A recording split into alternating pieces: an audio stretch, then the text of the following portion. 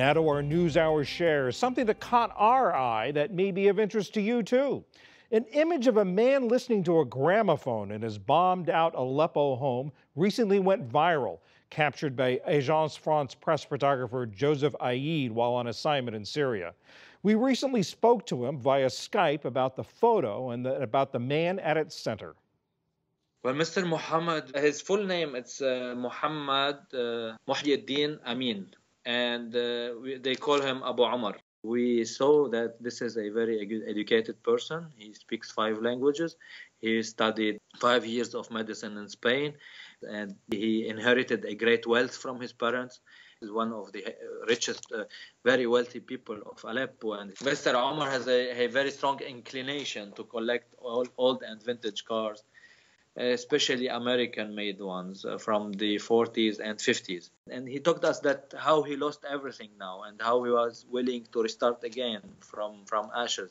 How he, an old man, a 70 years old man, that he is willing to go back again and to re- reopen his firm and to restore his house and to fix his cars that he calls that they are injured and they are crying now, they are uh, weeping and uh, we went also up to the master bedroom. When we were there, we barely could walk uh, uh, amongst the rubble there inside. And we asked him, he's still living there, he's still sleeping amongst the, the rubble. It, it, it's amazing, I couldn't believe. Yusuf, the videographer, asked him, the phonograph is still operating? He said, well, it's the only thing that it still operates here. So uh, he said, "Wait, I will show you. I I will make you listen to one of my favorite discs." When he ended up explaining about the the uh, the song, he just uh, like he was transferred. Uh, he was puffing on his pipe and looking out from the window, and he put his one leg over one another, and just like he was by himself listening to the music without taking notice that we are around him that moment like i was like electroshocked. And he didn't notice that i was taking pictures of him. He was like in another era and, not he went back to his old uh, good times i think.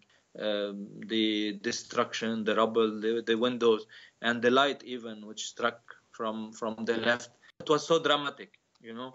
So it touched me and um, i took the image people are fed up from violence from killing from beheading from ISIS.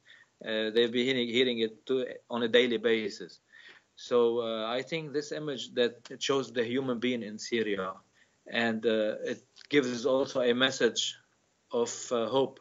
He told us, no matter what happens to me or to Syria, I'm not leaving here. It's here where I was born, and I'm not leaving.